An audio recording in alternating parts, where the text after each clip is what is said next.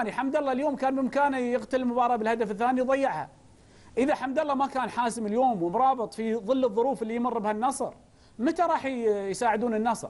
ترى النصر أخذ بطولات كثير بوجود مش في انتظار اليوم ان نعيش على بطوله دوري قبل سنتين أو سوبر؟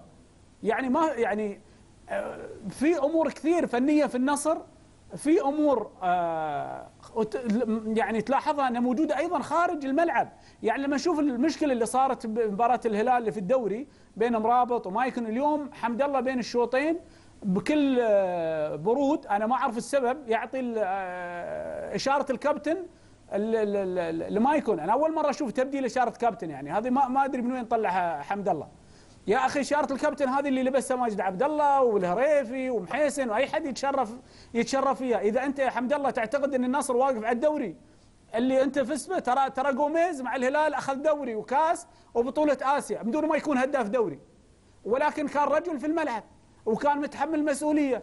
إذا في لاعب يظن أنه أكبر من النصر ما في أحد أكبر من النصر، النصر للعلم موجود، خلني أعطيك معلومتين الكل يمكن يعرفهم أو شيء، كل اللي سجلوا أهداف النصر في الدوري محليين. المباراة الوحيدة اللي في فاز فيها النصر السنة هذه في الدوري بالمحليين ولا أجنبي باستثناء الحارس.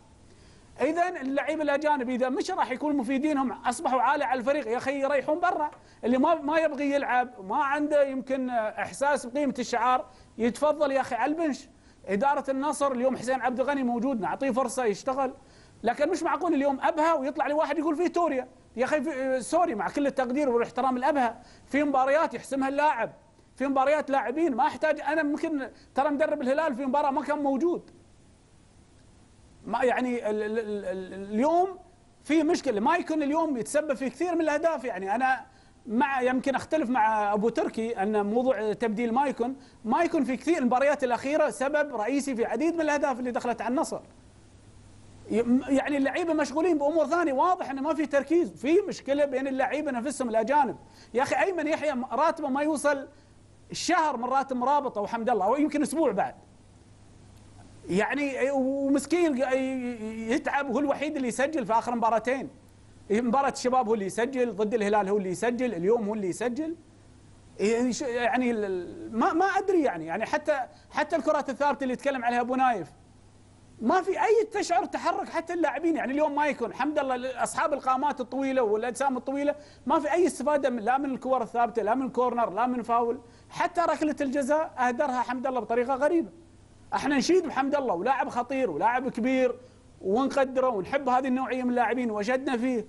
لكن اليوم لا stop يعني اليوم في مشكلة في اللاعبين. إذا ما تتحملون مسؤوليتكم إذا كل شيء قلنا الاداره معناته خلاص اليوم حسين عبد الغني بعد يلا نقول اطلع برا.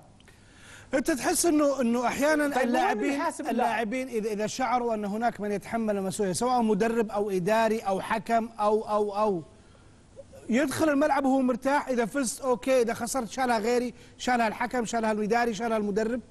مفروض إن هذا يخرج من رأس اللاعبين. بوجود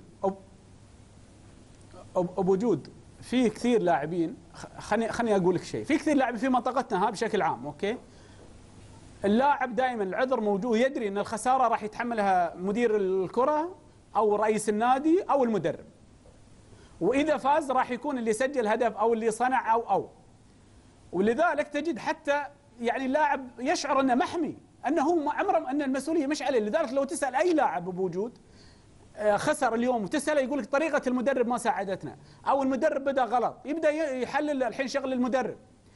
يشعر انه محمي هو إن تعود تبرمج على أن المدرب هو سبب المشكلة دائما أو رئيس النادي أو مدير أو مدير الكرة. لازم يكون لذلك خليني أقول لك شيء. بعد المباريات تجد ثاني يوم أو في نفس اليوم حتى بعض اللاعبين بكل برود يكون خسران تحصله داخل لك على ال social media بتغريدة غزل أو أو صورة في السناب أو في الإنستغرام لأنه يدري إنه ما حد راح يرد عليه وينتقده.